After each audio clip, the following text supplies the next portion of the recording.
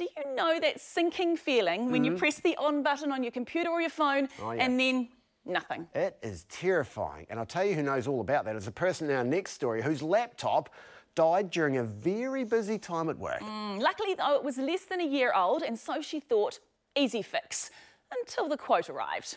Caitlin has the story. If there's one person who knows what's behind the curtain before everyone else, it's Sandra Roberts. The entertainment publicist takes what she sees and hears, and then gets busy behind her laptop to share it with the world. Some people would say it's attached to me, yes. but I, I mean, I do love my laptop. But after working at a Razzmatazz opening for Kinky Boots back in May... With lots of glitz and glamour and sequins.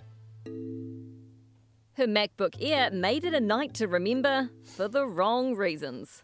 Went to turn it on and just nothing, dead. I thought, mm, gosh, it's um, needs a little lie down after all that excitement, I suppose. Sandra took it into Noel Leeming in Silverdale, where she'd bought it new less than 12 months ago.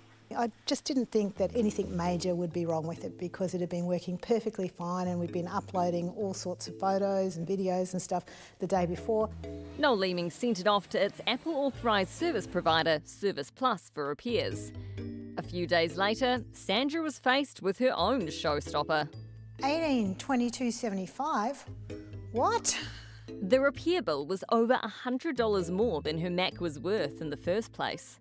They quoted me things that I thought, mm, gosh, it sounds like it was a catastrophic meltdown, but I couldn't think about how that could possibly have happened because one day it was working perfectly fine and then the next day it wasn't. These are the things Service Plus said needed replacing. The audio board, the audio board flex cable that connects the audio board to the mother or logic board, the top case with keyboard, a Touch ID button, and the display screen. All considered faulty and put down to a liquid spill caused by the customer. For the record, you didn't spill anything on it? Absolutely not, no. Didn't drop it? No, nothing, no. Any other whoopsies? No, no accidents, no nothing, and then it just stopped working. But because Sandra was being blamed for that, Noel Leeming wouldn't cover the costs under Apple's 12-month warranty. So she queried the quote with Service Plus. Do I need to be spending all this money to turn the computer on? I just want it to be going again.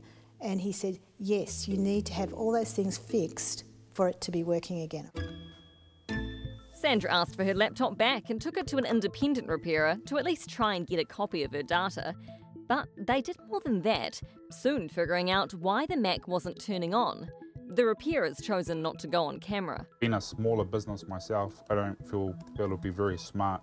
But in their view, Liquid wasn't to blame.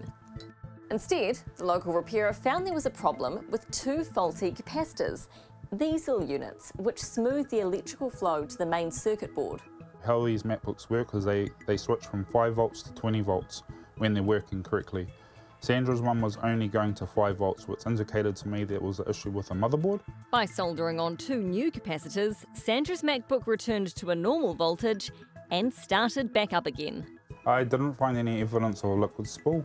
Apple has rules around how its products can be fixed. For example, a faulty motherboard would end up being replaced rather than repaired. The right to repair really needs to lift up in New Zealand and show there are opportunities for third-party repairers to help. As for Sandra's laptop, Service Plus took this photo at the time as evidence of liquid damaged parts. It says the residue appears to be dry, as if it had been there for some time. But this repairer argues moisture could be to blame. The actual pins on the flex cable aren't damaged. That, at worst, would cause an intermittent issue with the audio, but the MacBook wasn't switching on, and that was completely unrelated to that. Service Plus acknowledged it could have been more specific with its choice of wording. It possibly would have been clearer to state that the parts were affected by liquid and that there is potential for future failure if the parts are not replaced. Also, I think liquid incursion could be preferable terminology to liquid spill. We do not know how the liquid entered the machine. But the company believes its technician found more than just condensation. Unfortunately, liquid incursion is a serious situation on electronic devices. They can appear to function okay initially, but can or will develop issues over time. Service Plus seeks to complete repairs to a fully functional and reliable state to ensure that the customer continues to have their full entitlements post repair. Leaving liquid residue in a device after repair is not good practice.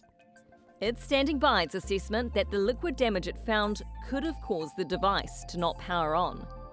Having said that, the information provided by Fair Go appears to indicate that the main PCB may have also had an issue that we did not report.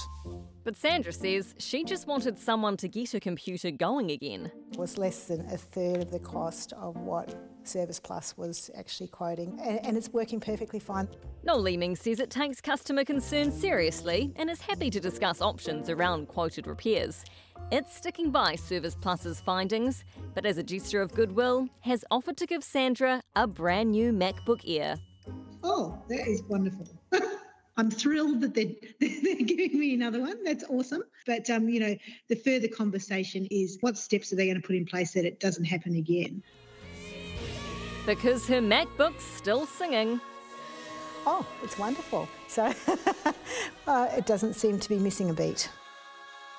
Hmm. So she's now got two computers, one for Fair Go Live, one for Fair Go and reruns, but also people at home, second opinions, get them all the time mm -hmm. on everything. Now, before the break, we met Sandra, and when her laptop stopped working, it was sent away to Noel Leeming's recommended repairer, who quoted $1,300 more than her local repair shop. Wow. Yikes. Yeah, so what rights does she have?